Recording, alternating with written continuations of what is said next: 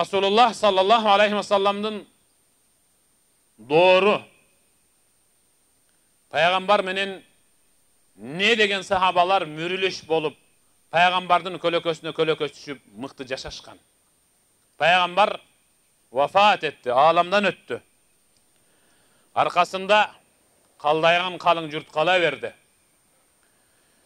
эгиндеги сакалы көкөрөгүнө түшүп небак көзүнүн курчу кетип сакалы агарып бетине бырыш түшкөн бир аксакал үйүнөн чыгып туура эмес даарат алып атты daaratты ирети менен эмес аралаштырып туура эмес даарат алып атты пайгамбардын небереси хасан менен хусейн аллах алардан ыраазы болсун туура эмес даарат алып аткан ушул аксакалды көрүп кичүүсү хусейн агасы хасанга таятабыз менен жүргөн аксакал туура эмес даарат алып атат түшүндүрөлүбү деди таятасы пайгамбарыбыз да фатима энебиздин уулдары хазрат алинин хасан чоң айтты эгер азыр экөөбүз түз барып айта турган болсок анда э пайгамбардын неберелери ушундай бетке айта турган аксакалды ылгабай тартипке чакыра турган адептен чыгып кеткенби деп сөз тийип калышы мүмкүн буга бир нерсени ойлонолу деп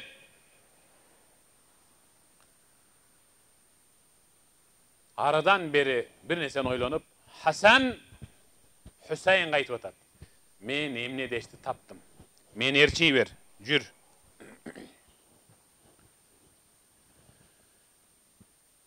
аксакалдын алдына келишти хасан чоң айтып атат ассаламу алейкум чоң ата кандайсыз жакшысызбы мынол менин иним бүгүн эрте менен туруп алып эле эмне болгон билбейм түшүнөн чочуганбы мен мыкты даарат алам мен пайгамбардай сонун даарат алам деп мактанат мен айттым кандай болгон чакта деле сен менин инимсиң менден кичүүсүң daaratты менден үйрөнбөдүң беле мына мен пайгамбардай даарат алам таятабыздай деп экөөбүз талаштык ары талашып бери талашып кол байлап кол кошуруп турганда мээрими менен кечирими менен ырайымы менен периштелерге худу дунуба худу менин бендемдин денесин оорлотуп белин сыздатып бүкүрөйтүп аткан күнөөсүн жүрөгүн караңгылатып көөнүн кирдетип аткан күнөөсүн денесинен сыдырып алып туруп мүрүсүнүн үстүнө коюп койгула рүкү кылганда сыдырылып түшүп кетсин рүкүдө түшпөсө саждада түшсүн ошол жерде ошон үчүн пайгамбар саллаллаху атилу сужудакум саждаңарды узагыраак узунураак кылгыла саждада көбүрөөк тургула күнөө сен намаз окуп бүткүчөктү бир отоло түгөнүп калсын деген сүйлөшкөн сайын телефондо бирдик жоголот жүз сом салмайынча сүйлөшө албайсың а намазга эч кандай бирдик кетпейт эң мыкты байланыш ал аллах таала менен сүйлөшүү ким аллах таала менен сүйлөшкүсү келсе анда ал намаз окусун деген ким аллах мага сүйлөсүнчү мен угайын десе анда ал куран окусун деген эң мыкты ибадат эң мыкты үйдүн ичинде эң мыкты жамааттын арасында жасалат кыяматта эң мыкты орун болгон бейиште эң мыкты инсандын жанында ал мухаммед саллаллаху алейхи вассаламдын жанында болосуң мына бүгүн дасторкон бетинде ашказанга керектүү тамак турат ал ашказандын азыгы бир күндө үч жолу тамактанбасак болбойт кээде төрт жолу кээде той топур болуп кала турган болсо анда бир беш алты саат жөн чыдап отуруп беребиз рух дагы рух кадимкидей ач калат рухтун азыгы ушул беш убакыт намаз иман ибадат куран окуу жана башка мыкты жакшы иштерди жасоо мына ушул тестиер балдар сиздердин небереңиздер кайсы бир аксакалга ушулар чебере мени менен теңдерге булар уул кыз болуп атат качан сүйлөсөк ушулар биздин келечек ушулар биздин келечек дейбиз а булардын келечегинин арыгын чаап коюп анан келечек дебейбизби буга окшогон келечектер толтура чынын айтканда тарбиясыз базарда картон чогултуп жүргөн келечек эмне дейсиз ал жөнүндө аны да айтың бул менин келечегим деп атасы менен апасынан бекинип жаман иш жасап атканды дагы айтың бул менин келечегим деп коюң келечек деп мына бул аксакалдардын арасынан мубарак дамланы бул жердеги дамлаларды сиздерди бул жердеги мына алтынбекти жана башка ушу салым кошкондорду айтса болот мына бул сиздердин келечегиңиздер көрсөттү сиздердин ким экениңиздерди жакшы иш жасады. Сахаба табианга айтып атат сахабалардын өлүп өлүп өлүп аягында калган биринекин сахаба пайгамбарды көрбөй бирок ыйманга келип сахабалардан сабак алган табианга айтып атат ой алла биздин доор ушундай алтын доор эле чындап алтын доор эле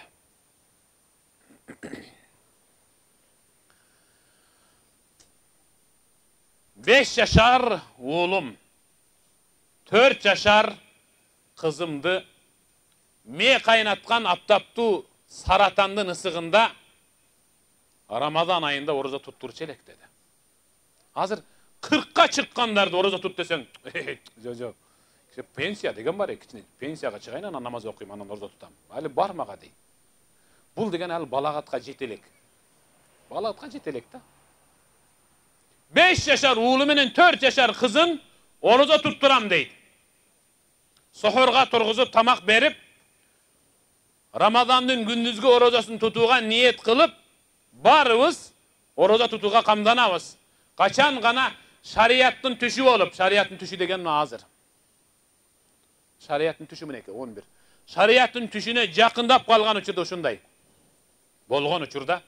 уулум менен кызым бирөөсү ата курсагым ачты десе бирөөсү мен суусап атам чаңкап атам деп ыйласа жубайым экөөбүз алдын ала камдап койгон нерсеге ала ачыктан атып чыгат элек мен барып төөнү тырмап жубайым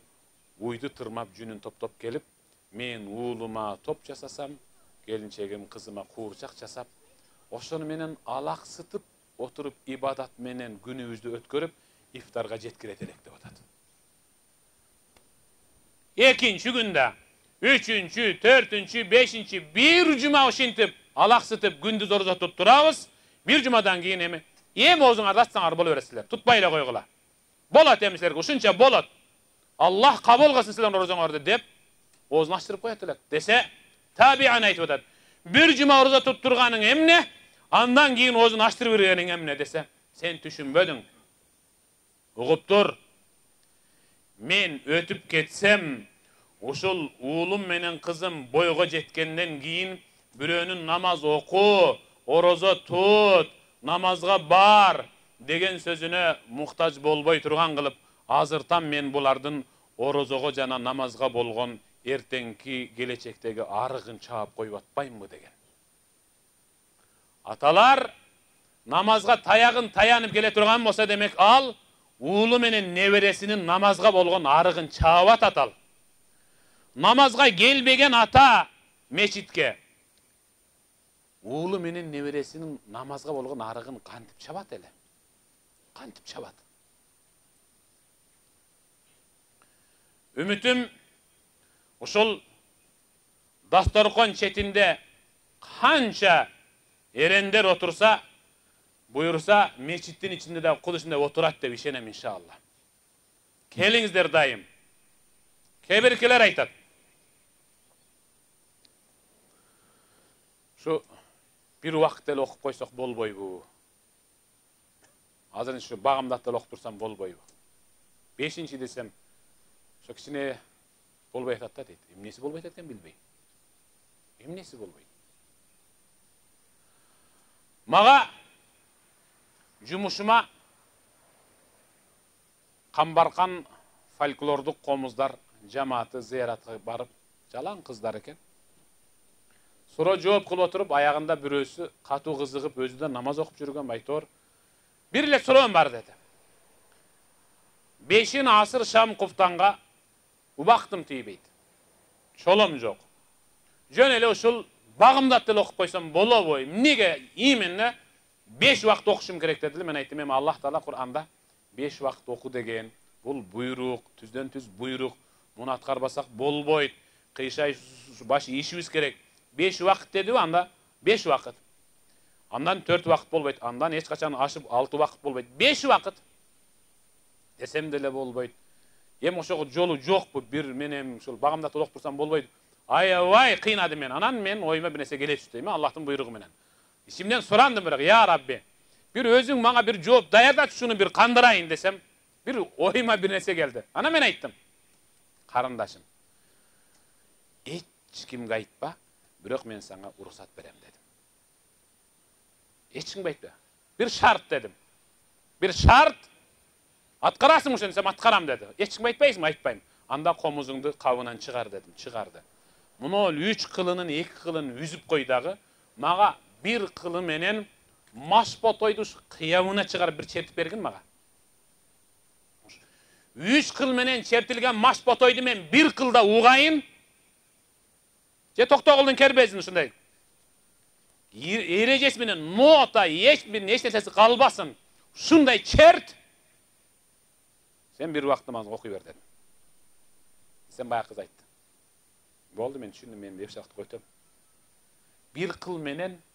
маш ботой чертилбегенден кийин багымдат менен аллахтын мээримине жетиш кыйын ал беш убакыт беш убакыт бир сыр бар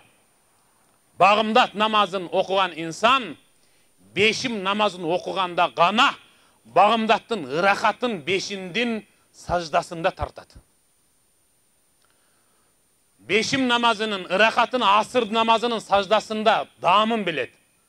асырдын жеңилдигин шамда сезет шамдын ырахатын куфтанда ал эми куфтандын ырахатын же тахаджудта же багымдатта сезет намаз бири бири менен эри шаркак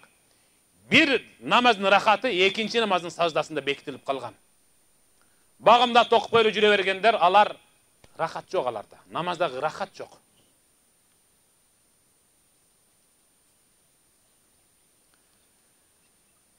менден акылы тетик эле ден соолугу чың тияк биягына барып текшерсең деле оорулуу эмес бирөө сурады мен айттым бул кичине акыл жагынан кичине мындай доо кетип калганбы дедим айтор ушундай да жаман таң калдым ал айтты мезгил мезгили менен намазды токтотуп турса болобу деди эркек киши кээде мындай че то мындай. Денең бошошуп тургуң келбей окугуң ошондо бир ай бир ай ошондо бир отпускка чыкса болобу деди. Айттым. Намаз окубай коюштун бир беш шарты бар дедим. Тандап ал дедим кайсысын тандасаң. Болобу деп сүйүнүп кетти болот. Эмнеге болбосун кызыксың да дедим. Мен айтып атпаймынмын болот. Намаз окубай коюшуң үчүн хайыз көрүшүң керек дедим. Үч күндөн бир он чейин хайыз көр вообще окубайсың дедим анда окусаң да күнөөкөр болосуң мечитке кирбейсиң жыргап жүрө бересиң көр жакшылап көрүп ал же нифас көр бир кырк күн танда дедим кайсынысын тандайсың бул экөө дагы үчөө калды айтайынбы десем айтың деди ал көрсө ушул үчөө калган үчөө жеңилирээк деди окшойт буга караганда мен айттым айбан болушуң керек дедим короңдогу сенин колуңдан жем жеп аткан уй болушуң керек же балагатка жете элек төшөгүн анча мынча түшүрүп койгон өзүңдүн балаң менен ушу балаң болушуң керек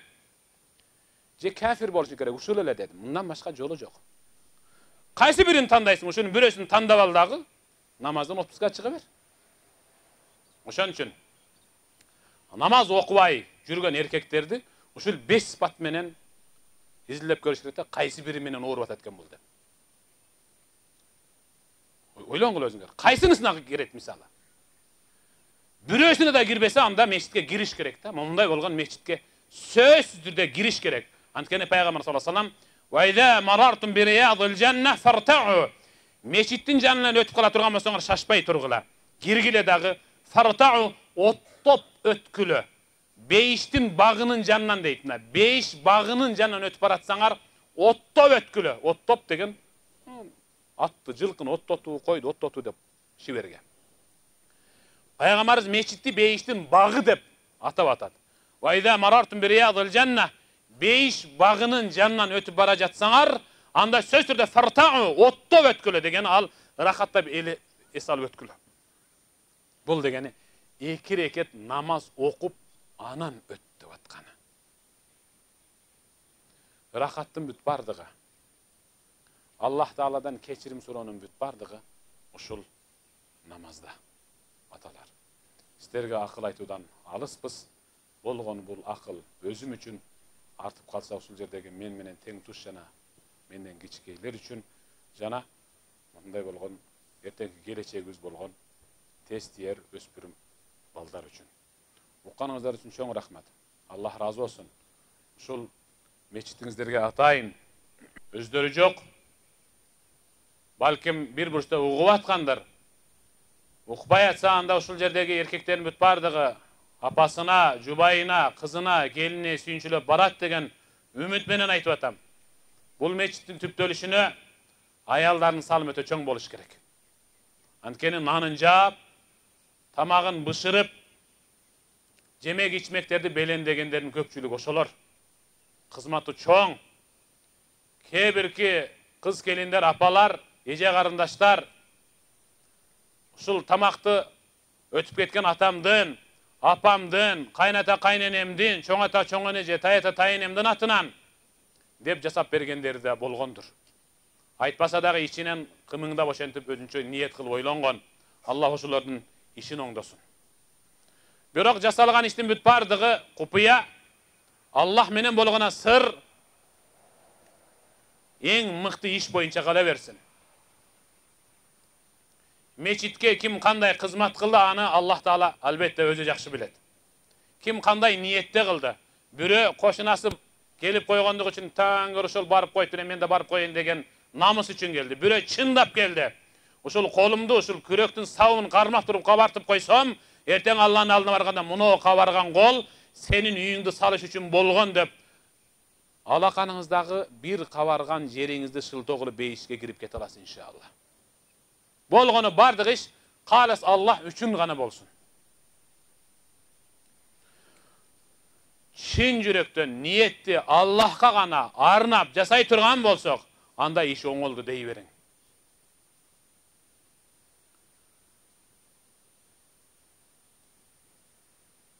эски доордо эски заманда бир падыша өлкөсүнө жар салып мечит салды бирөөңөр дагы кымындай нерсени кошумча кылбай салам мен муну деди усталарды жалдады жерди тандады анан курулушун баштады бүттү ачылышын жасады падыша өзүнүн ысымын мечиттин маңдайына жака белине чоң кылып алтын менен жаздырып койду бир күнү уктап атып түнү түш көрдү түшүндө асмандан эки периште түшүп бирөөсү падышанын ысымын жазылып турган жерден өчүрүп экинчиси бир ысымды жазып койду падыша чочуп ойгонду дагы вазирлерин чакырып чап мечитке ысымым турабы деди алар келди падышам кагылайын ысымыңыз ошол боюнча ошол эле боюнча эмне суук түш көрдүм суук түш көрдүм ордундабы деги ордунда ордунда ордунда ордунда арадан бир канча убакыт өткөндөн кийин дагы ошондой түш көрдү дагы жөнөттү үч жолу түш көрдү төртүнчүсүндө падыша бул түш мага бир нерсенин каңкуулап атат деп шаар элин мечиттин алдына жыйнап тамак тамак берип дасторкон жайып баарын курсагын тойгозгондон кийин эл алдына чыгып кагылайын калың журт эл айланайын мынол мечиттин салынышына эч кимиңер салым кошпогула дедим эле араңардан кимдир бирөө мага айтпай салым кошкон ким ошол? Эч ким унчукпайт анткени башынын кетип калышынан баары коркот үч төрт жолу кайталагандан кийин элдин тээ аягынан бели бүкүрөйүп калган көзүндөгү курч кеткен таяк таянган бир кемпир таягын өйдө көтөрүп падышам алдыга чыксам болобу чык алдыга алдыга келди эл алдына. Ойлонуп көрсөм эч ким чыкпайт эч ким чыкпайт анан мен бул эч кимдин чыкпашына караганда ушу менин ишим окшойт дедим ушу жолдон өтүп бара жатсам мечитке кум таш кыш алып келген араба чегилген эшектин казыгы арканы аябай кыска байланып алыста турган чакадагы сууга чаңкап калган эшек жұткынып жете албай атканынан оббо байкуш суу саптыр да деп арканын узартып койдум эле суу ичип суусундугун кандырган болгон салымым ушул мен башка салым кошо алган эмесмин деди эле. Падыша тактысынан түшүп кемпирдин колун өөп туура ошол сизсиз сиздин атыңыз баланчыбы? деди ооба. Анда мындан кийин мечит ушул кемпирдин атында болсун деп жаздыртып койгон. Эшекти суугаргандыгы үчүн мечитке кызмат кылып аткан эшекти суугаргандыгы үчүн ал калыс аллах үчүн арканын узарткан сіздер аллах разылығын табам деп бейіште хансарай алам деп келдіңіздер Аллах сіздерді әлбетте сыйлайды иншалла